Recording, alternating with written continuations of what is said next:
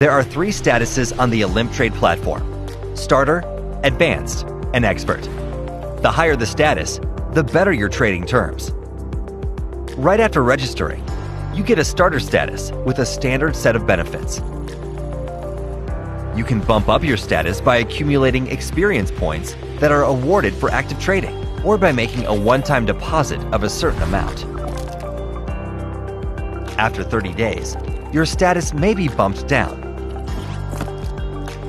To prevent this from happening, continue trading, complete your tasks, and gain trading experience.